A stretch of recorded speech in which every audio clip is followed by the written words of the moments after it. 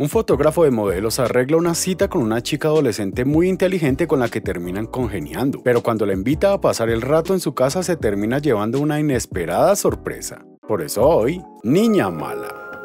La película empieza con un chat subido de tono entre una chica y un hombre que trabaja como fotógrafo. La cuestión es que en un momento ella le propone que tengan un encuentro para que él les saque fotos y como al tipo la idea le encanta, terminan arreglando una cita a ciegas. Entonces llega el momento de la cita en una pastelería donde Heidi calma su ansiedad comiendo un pastel hasta que justo aparece Jeff para descubrirla con las manos en la masa literalmente. Por eso se acerca a ella y le limpia la boca, mientras la chica cuenta sus prejuicios con los pedófilos. Luego Jeff le dice que chateando es la mejor manera de conocer a las personas y que su experiencia como fotógrafo le permite darse cuenta cuando una persona está mintiendo, y en eso se pone a descubrir a la chica concluyendo que se trata de una loca adicta a los chocolates, por lo que la termina invitando a salir con su vicio. Y así que después de romper el hielo fácilmente se ponen a conversar sobre los gustos literarios de la chica y en eso Jeff le pregunta por un libro que lleva en el bolso, a lo que Heidi responde que se trata de un manual de medicina que le manda a leer su padre. Pero como Jeff empieza a ponerse celoso porque los médicos ganan mejor que los fotógrafos y pueden terminar seduciéndola, ella trata de tranquilizarlo eligiendo las palabras menos acertadas. No me seducirían, están viejos y podrían ser mis papás. Igualmente, Jeff se lo toma con humor y le termina diciendo que ella le parece muy madura, cosa que según él lo deja impresionado. Pero luego cuando están por pagar y marcharse, Heidi ve una remera que le termina gustando. Entonces Jeff decide comprarla si ella acepta modelarla para él, mientras le habla de un concierto que tiene grabado como MP3 pirata invitándola a su casa para que lo escuche antes de subirlo a internet. Así que después de probarse la ropa, Heidi termina aceptando su invitación diciéndole que solo acepta por estar loca. Pero al final cuando llegan al auto de Jeff, ella queda decepcionada esperando por un Lamborghini, haciendo que el tipo se arrodille para suplicarle que la acompañe por lo que la chica termina aceptando antes de que alguien los vea y sienta vergüenza ajena. Entonces llegan a la casa de Jeff, quien invita a Heidi con una bebida, pero ella no acepta porque vio muchas películas donde las chicas son drogadas antes de ser las víctimas de un abuso, así que se termina ofreciendo a preparar su propio trago para ambos. Luego se ponen a conversar sobre las fotos colgadas en la pared de las chicas que modelaron para Jeff, el tipo le cuenta que su casa es su propio estudio mostrándole el lugar donde saca las fotos y entonces Heidi amaga con hacer una pregunta, pero se hace la tímida y se termina conteniendo para volver a la cocina a servirse más del trago mientras el tipo prueba su habilidad para leer la mente. Estás pensando con cuántos modelos me ha costado.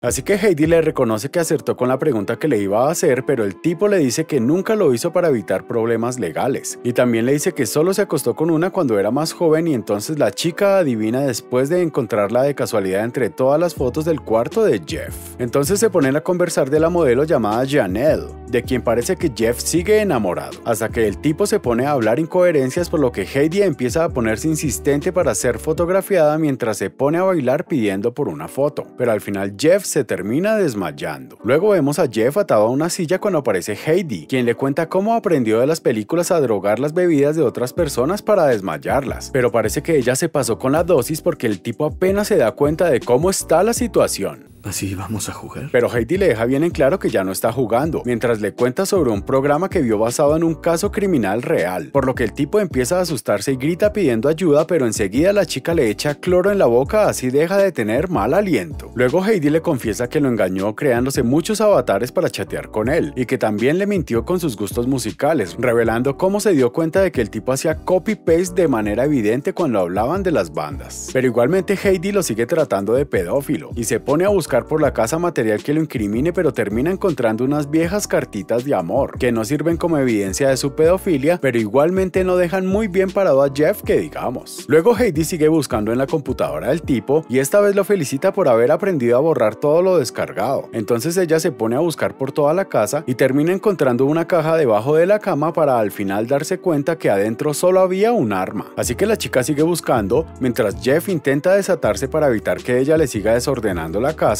y en eso encuentra una mesa medio rara llena de piedritas como las que hay en la calle. Así que la revisa bien y encuentra una caja de seguridad, pero resulta que tiene que abrirla con un código secreto. En eso Jeff le dice que se vuelva a casa para no preocupar a su familia, pero Heidi le dice que sus padres no se preocupan por ella. Entonces el tipo aprovecha para hacerle unos trucos de psicología barata para que ella se ponga de su lado y cuando todo parecía que iba a resultar, al final la chica no termina cayendo en la trampa. Luego de ir probando número por número, Heidi se inspira en los los juegos tipo Silent Hill y decide probar con la fecha que vio en la foto de Janelle, por lo que consigue abrir la caja y encuentra la foto de una chica que parece haber conocido, pero recién ahora Jeff se da cuenta de que sus pies no estaban atados y aprovecha para patear a la chica. Así que el tipo se dirige a su cuarto donde encuentra la pistola, por eso ahora sale armado para buscar a Heidi, quien estaba bien escondida y termina apareciendo de la nada como un ninja y le realiza el jutsu del papel film. Luego vemos a Jeff completamente atado con una bolsa de hielo en sus partecitas, en eso aparece Heidi y se pone a hablarle de la chica de la foto acusándolo de ser culpable de su desaparición mientras se va preparando a practicar como depiladora. Pero como necesita hacer tiempo para que la cera esté caliente, se pone a escribirle una carta a Janelle para preguntarle si está de acuerdo en tener una relación de a tres con Jeff. Y entonces se termina acercando al tipo para darse cuenta qué pasa con las partes masculinas cuando tienen mucho frío. Entonces Heidi termina preparando todo para hacerle una castración como lo hacen los granjeros con sus animales. Pero aunque Jeff intenta salvarse ofreciéndole un soborno, de todos modos la chica empieza con la carnicería. Luego Heidi decide tomar aire ante la desagradable vista de la operación y entonces vemos que se sube al techo para buscar a alguna vecina tomando el sol, pero al final solo consigue ser vista por una vecina que andaba cortando flores. Mientras tanto Jeff intenta mover la cama para agarrar el celular, pero justo Heidi regresa para seguir con la operación antes de que se infecte el corte y aprovechar para traer una cámara para grabarlo todo, así su padre lo usa como ejemplo en sus clases de medicina. Entonces Jeff se pone a recordar un viejo trauma de la infancia donde ya era acusado de pedófilo cuando en realidad era inocente, y enseguida se pone a llorar suplicando por sus genitales, pero la chica no se conmueve ni un pelito. Así que Heidi termina sacándole cada una de sus partes mientras le habla como a un niño que está recibiendo una vacuna para que no llore, y entonces se los termina mostrando antes de triturarlos y hacerlos carne molida. Luego Heidi empieza a burlarse de él porque ya no podrá ser el delicioso, para al final ir a ducharse y dejarlo solo a Jeff, quien aprovecha para intentar escaparse consiguiéndolo después de tironear mucho de sus manos. Pero en lugar de llamar al 911 para pedir ayuda, Jeff decide arreglar las cosas por su cuenta intentando recrear la famosa escena en la ducha de la película Psicosis y entonces la chica vuelve a hacer su aparición de ninja para probar con él una afeitadora eléctrica por si tiene que volver a depilarlo para al final dejarlo desmayado de nuevo. Luego Heidi demuestra que también vio películas de crímenes y se pone a limpiar la casa para borrar sus huellas dactilares mientras Jeff vuelve a aparecer arrastrándose por el piso como un zombie. Pero como el tipo la termina distrayendo haciendo que rompa un jarrón, ella vuelve a electrocutarlo para que no la siga molestando. Así que nuestra protagonista sigue limpiando la casa para después terminar escribiendo una nota suicida en la computadora y termina haciendo otro llamado pasándose por una policía para avisarle a alguien que venga a la casa. Después Heidi deja medio colgado del cuello a Jeff y justo en ese momento suena el timbre. El tipo vuelve a intentar a gritar pidiendo ayuda, pero la chica le tapa la boca porque su problema de mal aliento todavía no se curó. Entonces la chica abre la puerta y se encuentra a una de las vecinas de Jeff, quien justo escucha los gritos ahogados del tipo, pero Heidi salva la situación convenciéndola fácilmente al decir que él tiene un ataque de diarrea. Luego la chica se presenta como su sobrina, y aunque la mujer no parece creerlo en un principio, al final le termina preguntando si puede hacer de niñera con sus hijos, pero Heidi rechaza la oferta diciendo que solo va a estar unos pocos días. En eso la vecina le ofrece unas galletas de niña exploradora que vende su hija, así que para evitar que se acerque al pedófilo acepta comprarlas después de tomar prestado el dinero de su tío Jeff, quien no para de gritar por ayuda sin que la mujer deje de imaginarlo sufriendo en el baño. Por último, la vecina le menciona a Heidi haberla visto en el techo hace poco, entonces ella trata de convencerla de que andaba revisando unas goteras, pero cuando la mujer pregunta si estuvo lloviendo, la chica decide irse de golpe para asistir a su tío, saliéndose con la suya con bastante facilidad. Así que Heidi termina volviendo a la casa y entonces Jeff trata de convencerla de que él no mató a la chica de la foto y luego se pone a mencionarle los problemas legales que ella va a tener que afrontar, a lo que la chica da por hecho que la justicia no es muy buena y no van a ser severos con ella, imaginando que su caso va a terminar llegando a Hollywood. ¿Quién quieres que te interprete? Pero justo en ese momento Jeff aprovecha para atraparla con sus piernas y revolearla lejos, consiguiendo escaparse de la soga por lo que la chica se muestra asustada por primera vez y termina saliendo del lugar. Entonces Jeff agarra un cuchillo y se pone a buscarla,